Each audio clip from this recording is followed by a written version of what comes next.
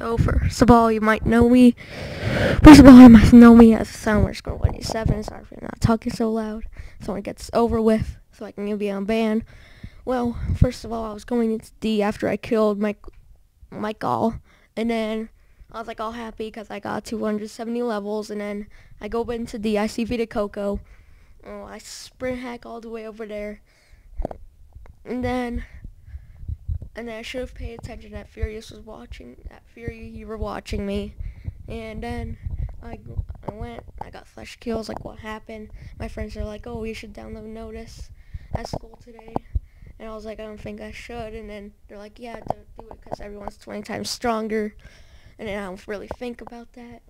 And then I just downloaded it, downloaded it again. And then, so, yeah, hopefully I get on band. Hopefully my plot's still there. And hopefully I'm still XCon and donor. Thanks. Bye.